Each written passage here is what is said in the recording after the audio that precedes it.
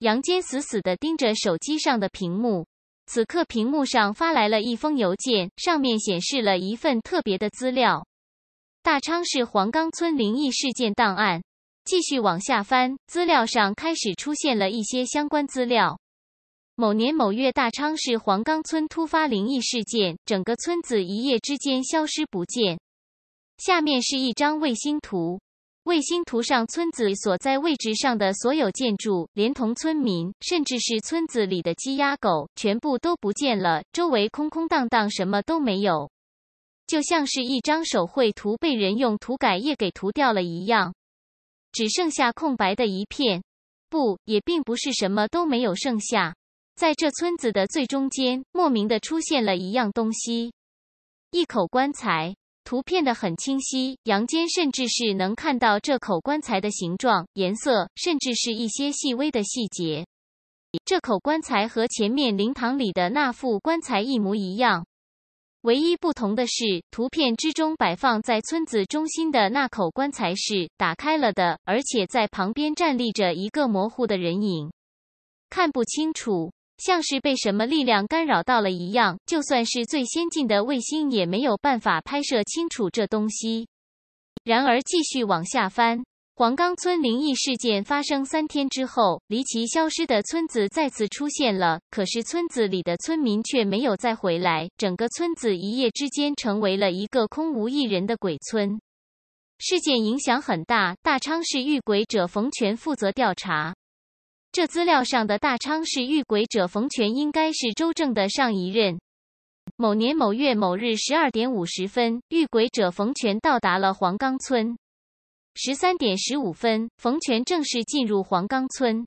行动资料到这里没了，接下来是一段对话式的资料，已确定村民全部消失，可能已经死于厉鬼之手。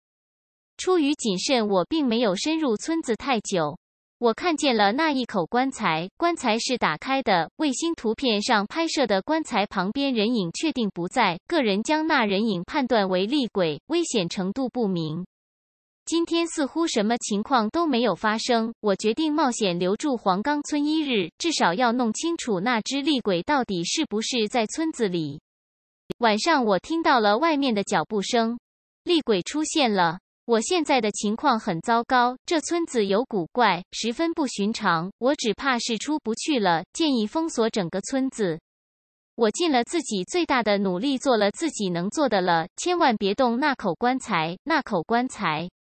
零散的报告并没有多少，只有寥寥几句。但是从这些简单的对话可以看得出来，那个遇鬼者冯全最后应该是死在了黄冈村，并没有活着离开。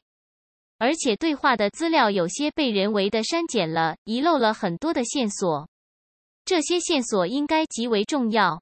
以前整个黄冈村都在一夜之间从这个世界上消失了，虽然后面再次出现，可再次出现的村子还是原来的那个村子吗？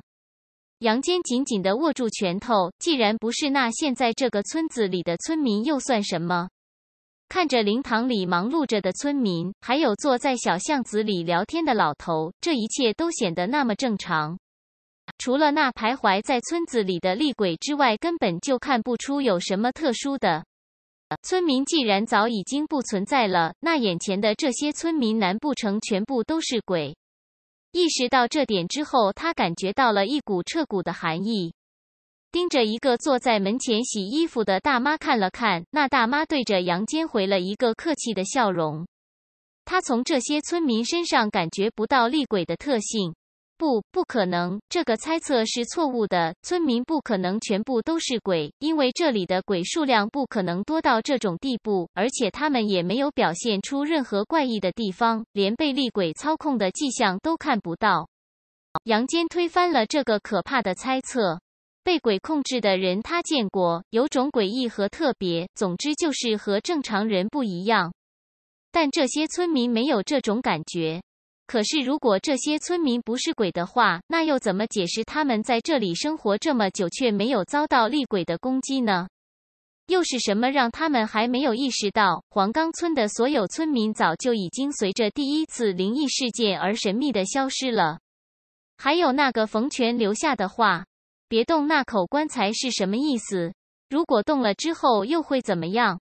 别的先可以不管，现在当务之急是要关押棺材里的那只鬼，这是已经确定了的事实。但是我不能确定的是，这个村子里就只有一只鬼，咳嗽的病鬼和杀死贺胜、欧阳天的鬼应该是不一样的。要是猜测属实，那么第二只鬼在哪？杨坚现在有点不敢动手了，他隐约觉得这两只鬼之间存在很深的关系。一只鬼很凶，凶到连遇鬼者都能杀死；另外一只鬼并不凶残，每次都似乎有意的聚集自己这些遇鬼者，就像是想要避免自己等人落单被杀死的情况发生。要是情况真是这样，那么首先要关押的鬼应该是那只杀死两位遇鬼者的凶鬼。而如果关押错误，把另外一只试图制止凶鬼的病鬼先一步关押了。没有了制约，天知道那只凶鬼会做出什么事情来。意识到这点之后，杨坚又惊又惧。还好昨晚没有愣着头皮直接行动，而是选择观望了一下，确定了一番。杨坚，你居然没事。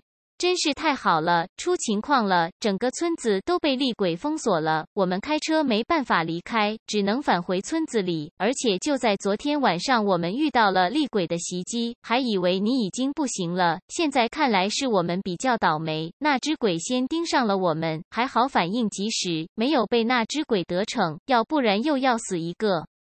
这个时候，呼的汽车的引擎声响起。三辆跑车开了过来，停在了道路旁边。张涵一下车就有些激动的说着昨晚的情况。杨坚蓦地回过神来，有些惊疑的看着张涵。就冲他这句话，他完全可以确定之前的猜想了。村子里的鬼就是有两只，一只病鬼，一只凶鬼，一只在棺材里，一只游荡在外面。不会再死人了。如果你们肯配合我的话，这次的灵异事能够解决。杨坚忽地盯着他，十分认真地说道：“为盟主加更，刘万叶未央，至柔情人，还欠三张，因为两个盟主要更四张，剩下的明天补上。”